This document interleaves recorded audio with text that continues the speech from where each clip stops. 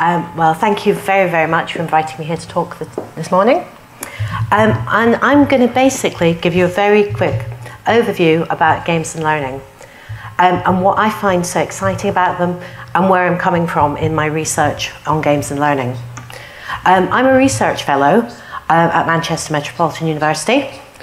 And really, the reason that I got interested in games in the first place was that it seemed like the only way that I can find a job that I could pretty much legitimize mucking around the entire time. Um, and when I start, was started thinking about my PhD research and thinking about, well, what should I do as a part of my research, games immediately sprung from my background in computing. Um, and being a gamer, I'd made a lot of assumptions in my initial research. Assumptions around why people play games, that all people play games, and why people play games for learning. Um, and I'd made this assumption, which is pretty common when you start to look at some of the literature around games and learning, is that everyone plays games, everybody is motivated by games, and this is the reason why games are so good for learning, because you can hide learning in games, people can learn without even knowing that they're learning, um, and everybody's motivated to play games. Um, unfortunately for my own research, um, I was given a bit of a shock with the very first set of focus groups that I organised, in which half the people that were in them went, We don't play games, we don't like games, and we wouldn't want to use them in education anyway. Um, so this got me thinking in my initial research about well, what is the purpose of games and learning?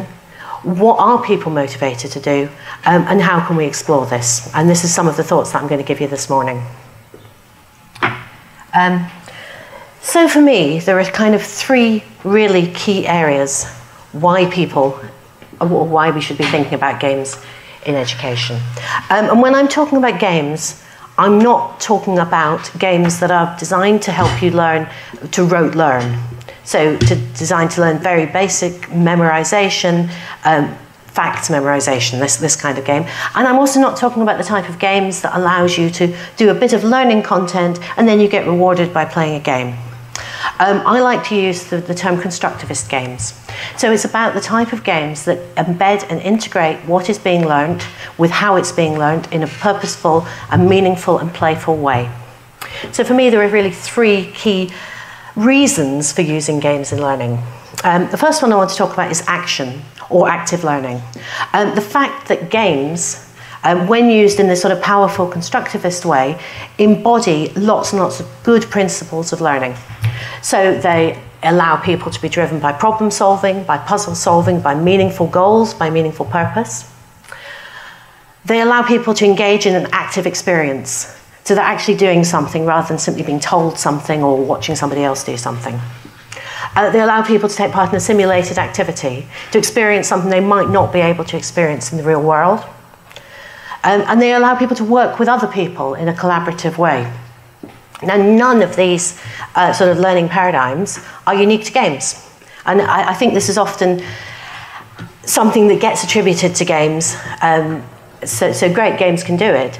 Um, but actually, all of these ways of learning can and are used in, in the classroom. Now, my background is in higher education. Um, and I think it's fair to say that in the UK system, higher education still predominantly is based around a lecturer standing in front of a classroom and talking at people, as I'm doing now, just to give you an example. Um, and I think games is a really good way of getting people to rethink their pedagogic practices and to think how we can engage learners um, by getting learners to take part in more active learning. So I think the whole active side is, is really important. Um, secondly, engagement. While games may not intrinsically motivate every person, um, I do believe there are elements in games that motivate different people in different ways. Um, and we did some research um, in an alternate reality game that I'm going to be talking about this afternoon about the different aspects of games that are motivational. Um, and in the engagement side, um, I think we, we're really talking about this um, new model of gamification.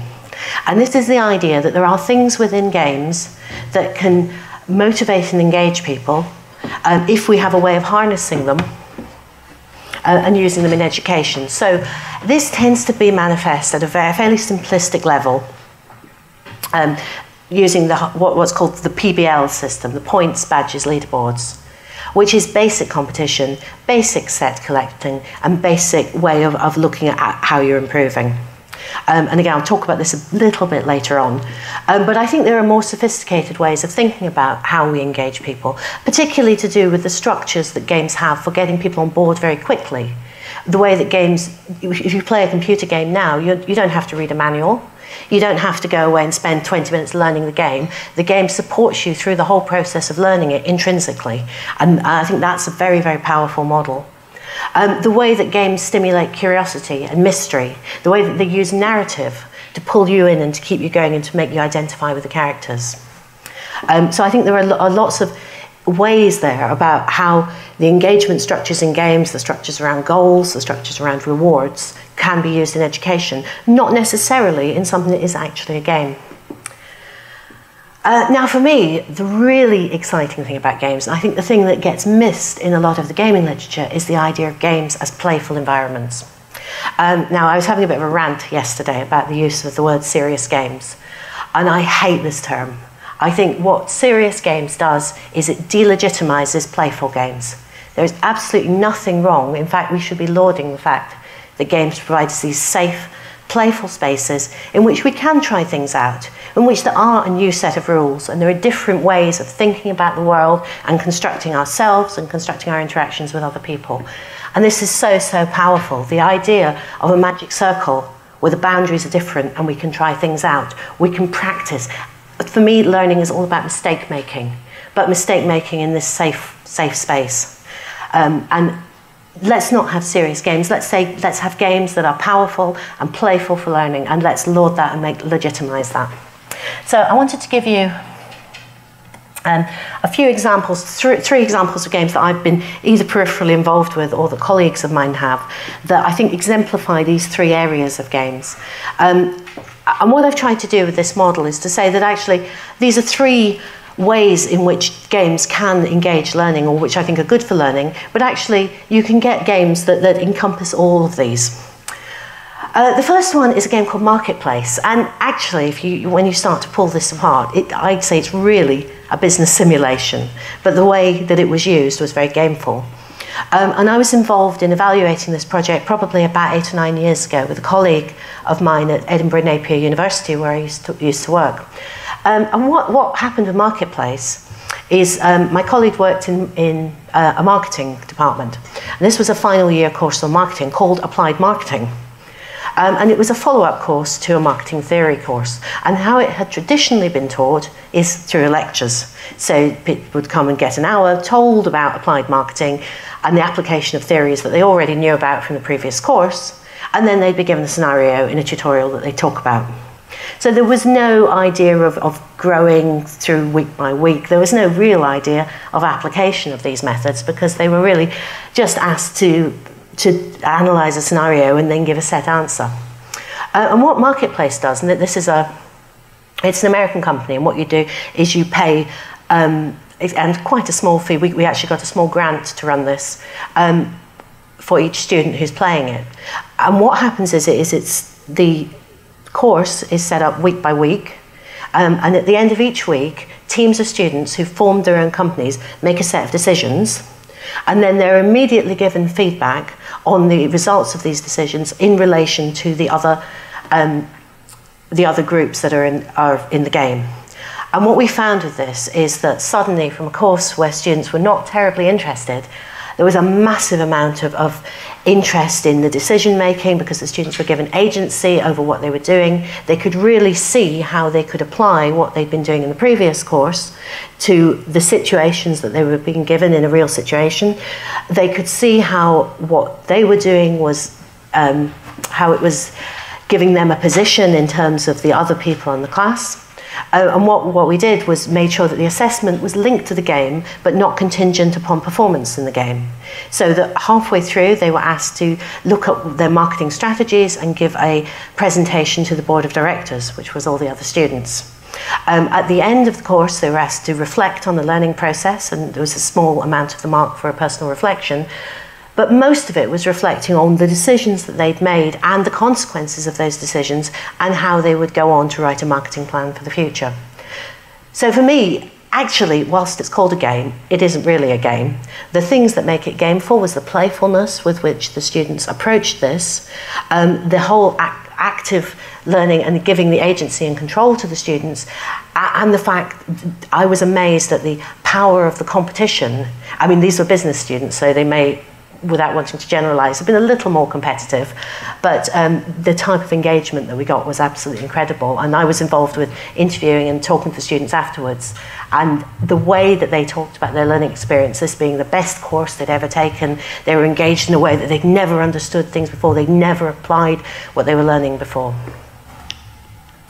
Um, a second example, and I think for, for me this exemplifies some of the principles of engagement that I was talking about, um, is a game that was run by a friend and colleague and co-author of mine, um, Alex Moseley at the University of Leicester. Uh, and this is a game which I always get it wrong and in the wrong order. It's the Great History Conundrum. Uh, and the problem that he had was when they, he teaches history, um, and they, they would get first year students coming through the door with very, very low information literacy skills. They'd all be great at using Google, but very, very poor at being able to evaluate how the, the, quality of resources or being able to apply them or being able to decide what was a genuine resource on the internet and what wasn't. Um, so what he did was rather than um, the old way, the system of doing it, which was basically a one hour lecture on here's information literacy, here might be a few web examples you can work through, uh, he implemented this game. And what happened was it ran over four weeks, and students were emailed puzzle cards. Um, and there's an example, I think there's an example on the slide there. And these puzzles were of varying difficulties. Um, and students had, in their own time, as many puzzles as they wanted to collect. Um, they could also swap puzzle cards with other people. They could also collaborate on puzzle cards.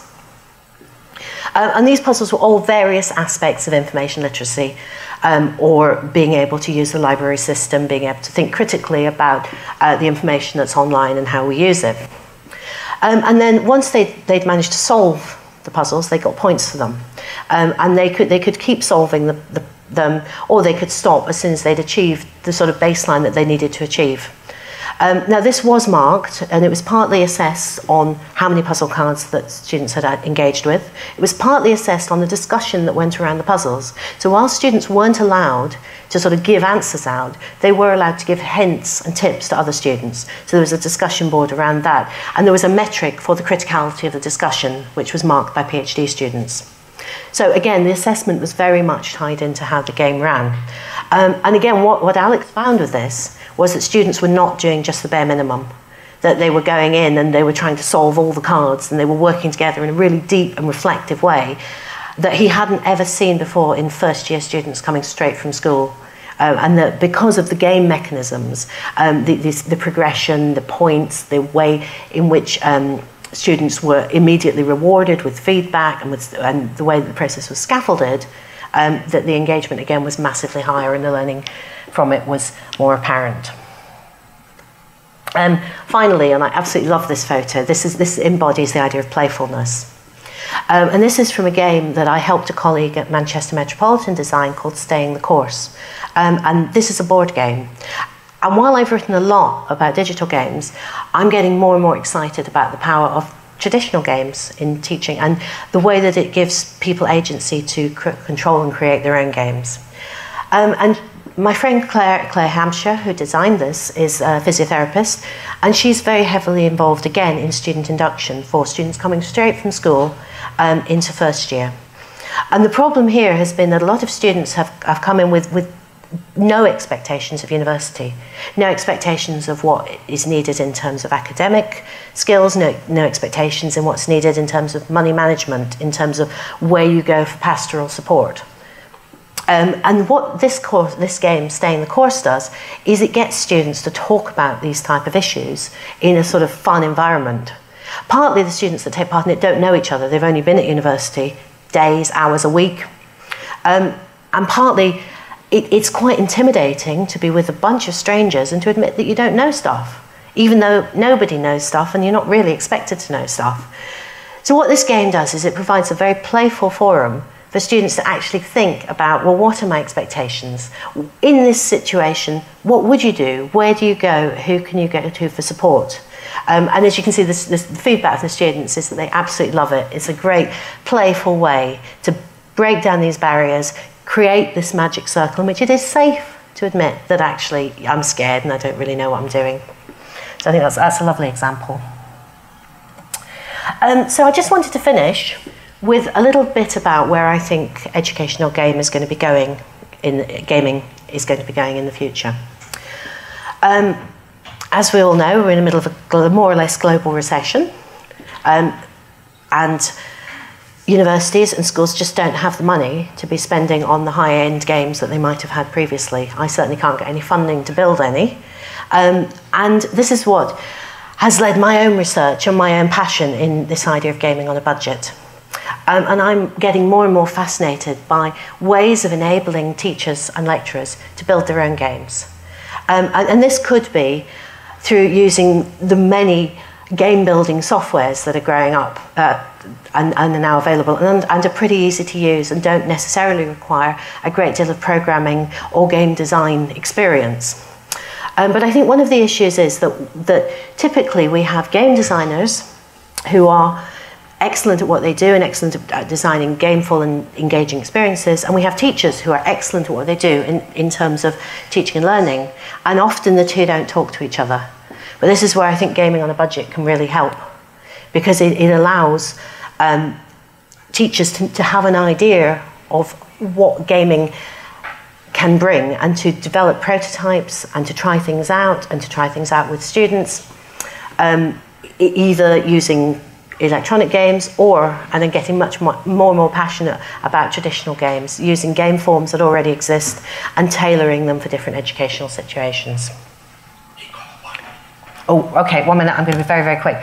Um, okay, the uh, beyond badges. I talked a little bit about gamification before, um, and I think we're going to start seeing more sophisticated gamification beyond the points, badges, leaderboards um, model. Moving on to, um, to look at more sophisticated ways in which the um,